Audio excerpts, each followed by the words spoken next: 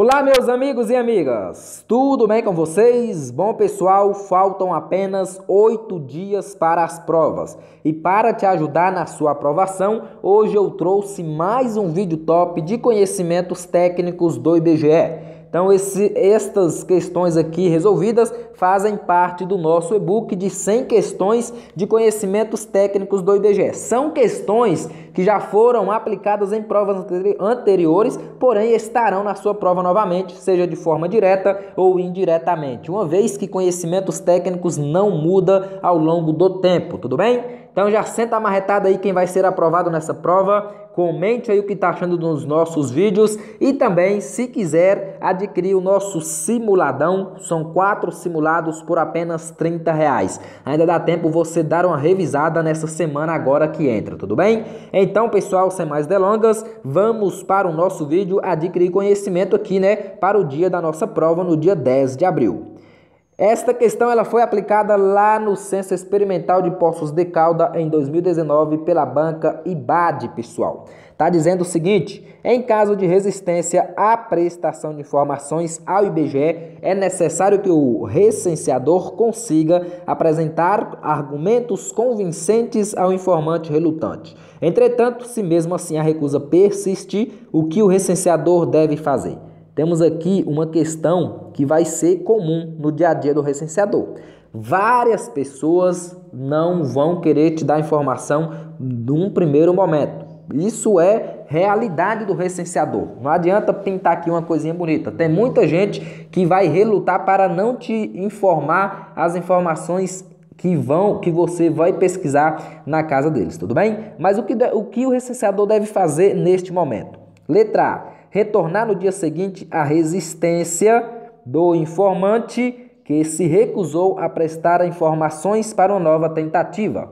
Não, pessoal, retornar no dia seguinte vai ser a mesma coisa. Se o informante não quer te dar essa informação hoje, amanhã também ele não vai querer. Então não tem necessidade de você voltar lá no outro dia, você tem que resolver no mesmo dia.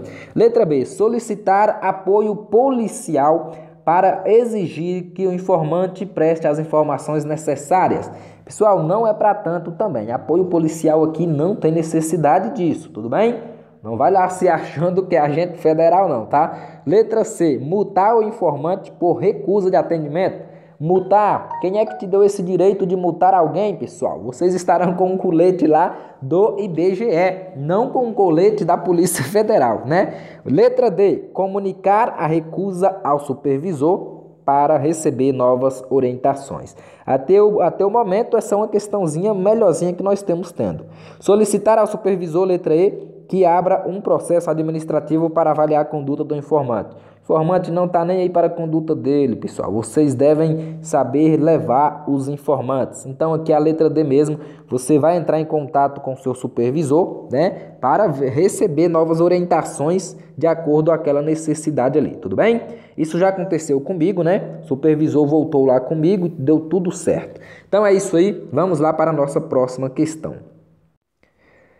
Nesta nossa próxima questão aqui, pessoal, nós temos o seguinte: quem exercerá as tarefas de supervisão da operação censitária, com atenção às questões técnicas e de informática, exercendo, quando necessário, tarefas administrativas, como renovação de contratos e avaliação de recenseadores? Vamos lá, letra A, o coordenador do censo? Não, pessoal, não é bem o coordenador Digamos, poderia sim, coordenador censitário de subárea, ainda não seria ele, né? Como está aqui no, na última aqui, ó. Coordenador do censo é quase isso. Mas letra B aqui, ó. Agente censitário supervisor é o nosso gabarito. É o ACS, agente censitário supervisor, que vai exercer as tarefas de supervisão. Olha o nome, supervisão, supervisor da operação censitária, com atenção às questões técnicas e de informática exercendo, quando necessário, tarefas administrativas, como renovação de contratos e avaliação dos recenseadores. Se falou que está em contato com os recenseadores, é o ACS, porque é o ACS que vai supervisionar o trabalho do recenseador. Os outros aqui estão todos errados, não vamos precisar reler aí, né? Vamos lá para a nossa próxima questão. Nesta nossa próxima questão aqui nós temos o seguinte: Quais são os dois instrumentos de trabalho disponíveis durante a coleta de dados ao recenseador? Aqui, ó, dois instrumentos de trabalho.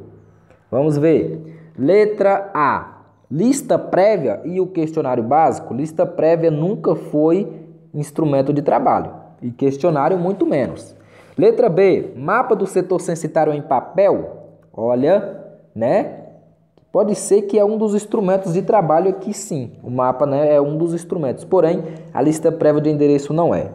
Letra C, mapa do setor censitário em papel e o dispositivo móvel de coleta.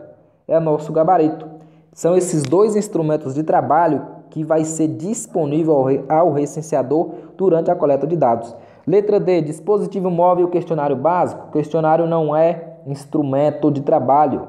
Questionário também embaixo também não é. É o nosso gabarito letra C. Os dois instrumentos de trabalho disponíveis ao recenseador é o mapa do setor censitário em papel, tá? E o dispositivo móvel de coleta.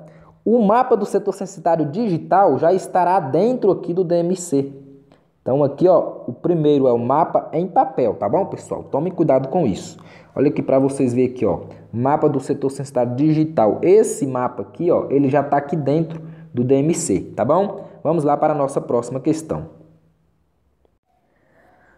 Nesta nossa próxima questão está dizendo o seguinte: Antônia, ao trabalhar como recenseadora, percebeu que um questionário tinha menor número de quesitos em que seriam registradas as características do domicílio e de seus moradores na data de referência.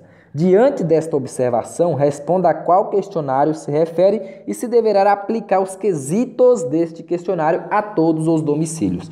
Nós vamos ter lá dois tipos de questionário: é o questionário básico e o questionário questionário básico e o questionário de amostra. Este questionário básico, ele vai ter menor número de quesitos.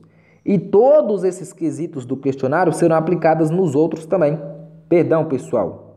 Isso, certinho mesmo. Temos aqui o questionário de amostra, que é um questionário maior. Porém, esse questionário de amostra, ele não vai ser aplicado em todas as casas, apenas em, em algumas casas dentro de um setor, visto que vai pegar informações iguais de todas as casas ao redor. Então não tem necessidade de perguntar a mesma coisa em várias casas que a resposta vai ser a mesma, como iluminação pública, esgoto, água encanada, né? Então a resposta vai ser a mesma para este grupo. Então não tem necessidade de perguntar esses quesitos do questionário de amostra, né, pessoal?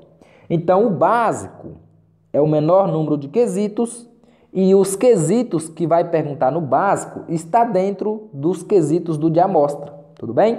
Então aqui o nosso gabarito já letra A.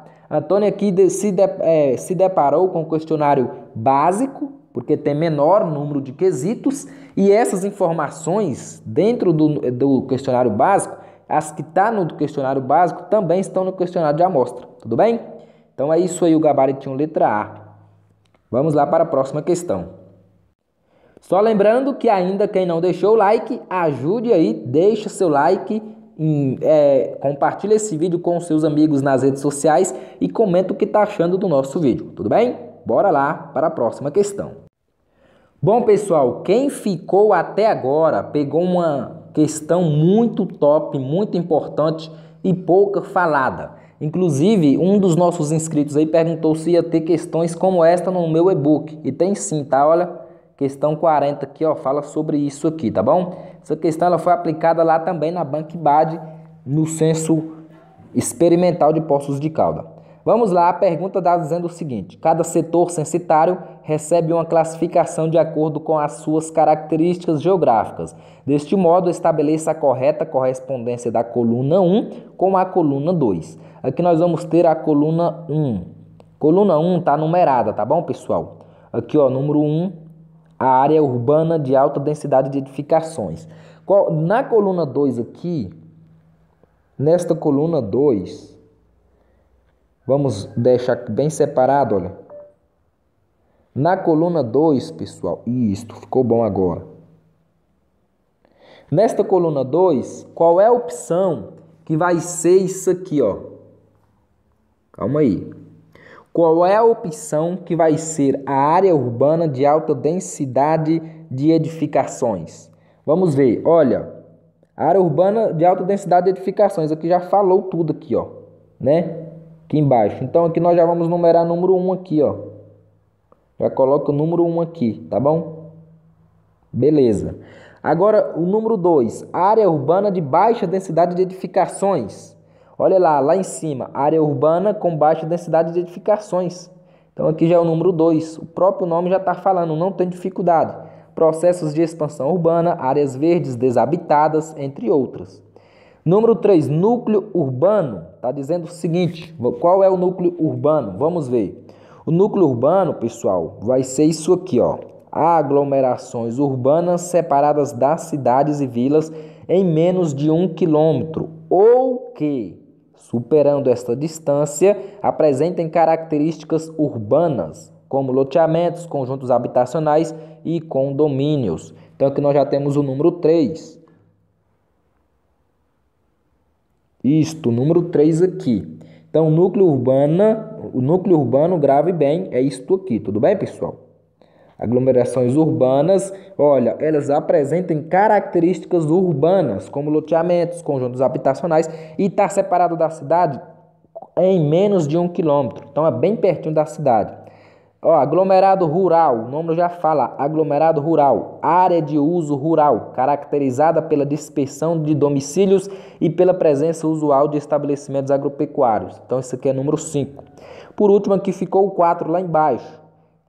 O Opa, perdão pessoal. Aglomerado rural. Esta aqui de cima é a área rural, tá bem? Aglomerado aqui embaixo, olha. Por isso que é bom ler todos. Caracterizam-se pelo caráter aglomerado de domicílios normalmente. Olha o nome aqui, ó. Pequei aqui, tá bom, pessoal? Quando eu falo é aglomerado rural, olha aqui, ó. Aglomerado de domicílios, normalmente distantes entre si, não mais que 50 metros separados da franja das cidades e vilas em mais de um quilômetro, tudo bem? Então, esse aqui que é o número 4, ó, lá embaixo.